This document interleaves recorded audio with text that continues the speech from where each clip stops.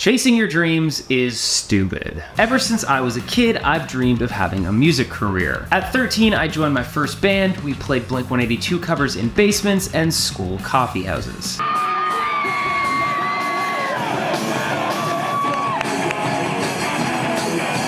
It was fun, but like all high school bands, we broke up. I was the only one taking it seriously anyway.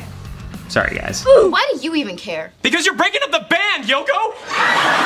By that point, I was obsessed with playing music for a living. So I joined a few other bands, but nothing really panned out. Still, I wanted it more than anything. So at 19, I moved to Toronto to learn music production. I recorded a handful of songs on a MacBook in my bedroom and put them out on the internet. This was back in 2007.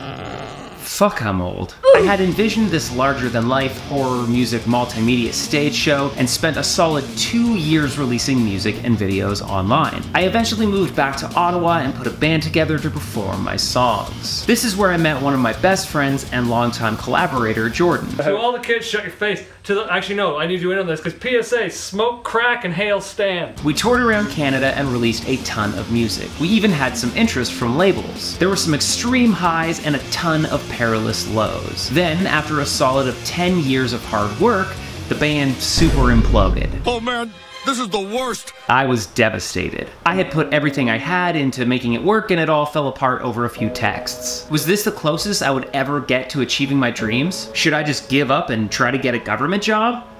Nah, fuck it. I had done some pretty cool shit and I still had so much art left to make. I wouldn't give up. That was the day I officially became Anndy Negative. I went out on a solo acoustic tour, then started releasing more music and videos on my own. After a few years of going it alone, I reconnected with Jordan and we started playing music again. This is when Topher joined us. He's the kindest, most talented person I've ever met. We started a band, released some music, and played a bunch of shows. 20 years after starting my first band, I was still in the trenches chasing my punk rock dreams. Would it ever pan out? Who knows? But at least I was still having fun. Then the emo anthem video went viral and suddenly everyone was talking about me. It was nuts. I just write the next emo anthem. Let's check.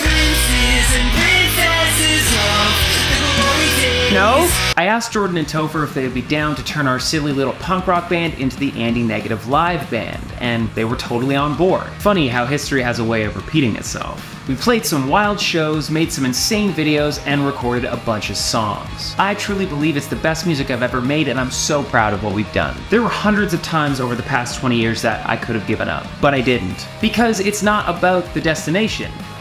It's about the journey. So if you believe in something, go after it. And never listen to anyone who tells you chasing your dreams is stupid.